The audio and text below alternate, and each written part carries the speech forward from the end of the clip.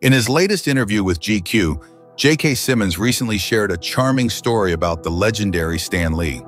According to Simmons, Stan Lee once admitted feeling a bit jealous that he wasn't cast as the legendary Daily Bugle publisher J. Jonah Jameson in Sam Raimi's Spider-Man films.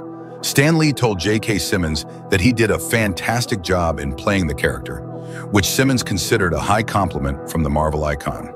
I had never met Stan and didn't even know, and this is kind of obvious uh, to anybody who's really paying attention or smarter than I am, that, you know, JJJ was kind of based on Stan, you know, comic version of himself.